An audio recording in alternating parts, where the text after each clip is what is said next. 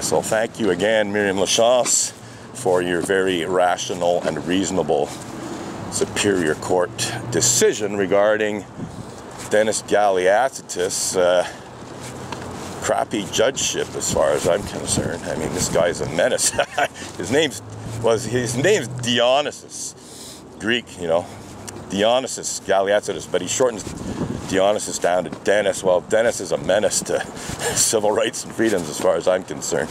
Not to mention maybe one or two other things he's a menace to, but certainly in my case, you know, Dennis Galiatsatos has suppressed my charter rights and freedoms with little or no reason to do so. Um, and uh, that makes him a menace to charter rights and freedoms, in my opinion, uh, which I'm allowed to have according to the Canadian Charter of Rights and Freedoms. I'm allowed to have an opinion, I'm allowed to express it, uh, and that includes asking questions at city council meetings, which I was prevented from doing for two years, thanks to Dennis Galiatsatos, and uh, not to mention the SPVM and Crown prosecutors and so on, Montreal Unitarians uh, ultimately, Sue Montgomery ultimately. Uh, so yeah, Sue Montgomery, former Gazette Justice reporter, is absolutely responsible for shutting down my protest for a couple of years. Uh, and she's been involved in efforts to shut down this protest since at least the mid 2000s. I remember seeing Sue Montgomery sticking her head inside police cars, you know, trying to convince cops to do something to arrest me or ticket me or whatever. You know, in the mid 2000s, um, she uh, involved herself in an effort to seek a restraining order, peace order against me in 2006, 2007. Um, she was involved in that. In fact, in hindsight, I think she was probably the person who gave the church leadership the idea to do that um, because she was at the time uh, the Gazette's justice reporter, that is the judicial reporter, court reporter.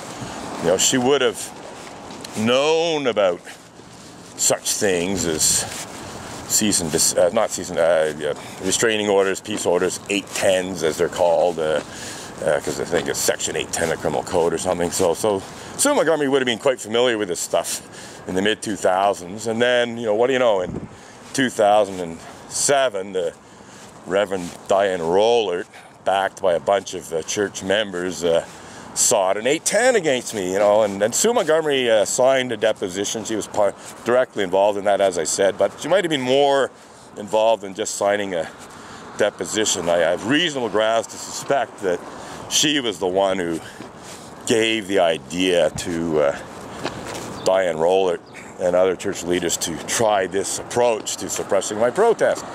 Um, and they were successful. Again, I got one of the worst judges in Quebec court at the time, a roll-on Matt.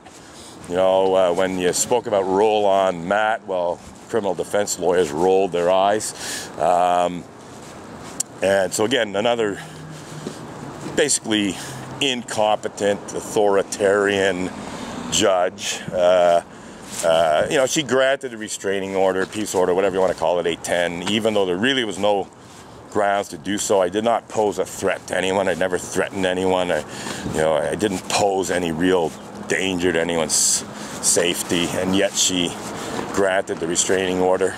So I basically had a one-year restraining order over the span of the summer of 2007 into 2008, if I remember correctly. And uh, no doubt the church thought that this was the end of the story, you know, that they'd be able to renew this every year kind of thing and make it indefinite. Well, no, that didn't quite happen. Uh, and when it ended, I resumed my protest very soon after. And they did try to get it reinstated and so on and so forth. You know, there was a fair number of interactions with the police in, uh, you know, 2008, 9, 10 kind of thing threatened with uh, more, you know, criminal charges and so on, arrests and so on. Um, but uh, in terms of actually being arrested, uh, nothing happened. Um, so it's only in, when Sue Montgomery brought these uh, trumped up criminal harassment charges against me in December of 2017 that uh, the Unitarian Church of Montreal was once again able to uh, suppress this protest. And, and uh, make no mistake, although Sue Montgomery on the surface acted as an individual, um, I think it's very probable, almost a certainty, that to some extent, in any case, uh, this was coordinated with the Unitarian Church of Montreal. Um, uh, in fact, I wouldn't be surprised if uh, Sue Montgomery even solicited votes from Montreal Unitarians by telling them, oh, if I get elected mayor, I'm going to make sure that Robin Edgar's uh, protest is shut down. You know, you vote for me and you get me in as mayor, you know, I'll, I'll uh, make sure that uh, he's not protesting inside the church. I can very easily see that scenario. I'm not saying it actually happened. I don't have proof that it happened, uh, but I can see Sue Montgomery doing that kind of thing, and I can certainly see her abusing her power and influence as uh, mayor of Côte-des-Neiges, Notre-Dame-de-Grâce, to say nothing of Valerie Plante's first deputy mayor, to try and uh, suppress this protest, which is exactly what she did, you know, at least uh, as an individual. Okay, so we're at 23 minutes, uh, so we got about six minutes of recording time left in this uh, fourth clip, and I think we're going to wrap it up because um, I do have other things to do today. Um, in fact, there's something I could have done at noon that I won't be doing because I decided to protest instead. Uh, but I do have other things, so so we're not going to protest for longer than an hour today. Um, I did find that protesting later, when people are exiting the church, as opposed to when people are entering it, actually has some advantages. so I may, I may change the timing of my protest. Um, maybe not all the time, but I think there are some times when I'm going to come later and be protesting as people are leaving the church. Because amongst other things, like one major reason for doing that is because, you know, when people are entering, you know, they're coming to a service, the service is starting, they don't have time to stop and talk and chat. Uh, but I protested some weeks ago later because because basically I, I, basically I just slept in and had breakfast and so on. Um, you know, uh, and so I decided, you know what, I, I, won't go in early. I'll, but I will protest, you know, as people are exiting. So that's what I did. And they ended up having a long, interesting conversation with a first-time visitor to the Unitarian Church of Montreal as she exited the church. Uh, unfortunately, most of that conversation wasn't recorded because my camera battery died after a few minutes. Uh, and that's a shame because it was a really, really good conversation. Uh, and she was very much on side. She understood the issues. She agreed with me. Um, so that was kind of nice. It's unfortunate that that conversation uh, was not recorded because it might have helped to wake Montreal Unitarians up a little bit.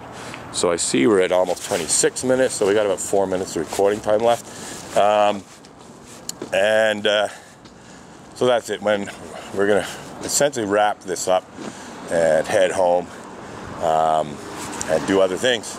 But it's been a pretty good little protest. A few people saw my signs in terms of church membership. A fair number of the public. I was actually surprised how many dog walkers I saw this morning. Not so many cyclists. Uh, as we see, we have the bike path here and often there's quite a number of cyclists but you know we are in uh, mid or December and there's just not that many cyclists uh, at the moment uh, but there were in September and October getting fair number of cyclists we're seeing this uh, protest including uh, Project Montreal City Councillor Peter McQueen he came by on his bike one day I had a little word for him as he went by reminding him of uh, the issues um, so, uh, anyhow, yeah, it's been a pretty good little protest. No major incidents. Uh, but it was interesting that this younger member of the church, you know, had it in her head that uh, I was not allowed to be here and that they were going to call the police. So that's, you know, their, their response to this protest is not to deal responsibly with the issues that I'm protesting. Well, call the police, call the police, call the police, shut them down, silence them. Don't listen to what he says. You know, don't try to negotiate with him. Don't try to resolve the issues. Just call the police, call the police, call the police, shut them down, shut them down. Bring bullshit criminal charges against them. That's pretty well been their attitude. Maybe not from the very beginning, but certainly as far back as uh, December 2000 when I was arrested on trumped up criminal charges, which I was rightly acquitted of three years later. Um, so on that note, we are wrapping up this uh, protest. Uh, essentially, this is a fact that Montreal Unitarians have been devoting far, far more time and energy and probably money to shutting down this protest because I'm sure they've thrown money at lawyers and stuff. Um, who knows? Maybe they bribed a few police officers.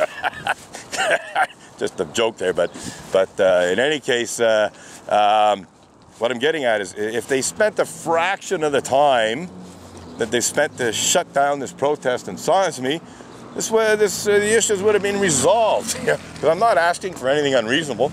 I'm not asking for anything that's out of alignment with any of Unitarian Universalism's seven principles. On the contrary, I'm asking Montreal Unitarians to practice the seven principles of Unitarian Universalism. I'm asking them to uh, practice uh, respect for the interdependent web of all existence. I'm asking them to practice justice, equity, and compassion in human relations.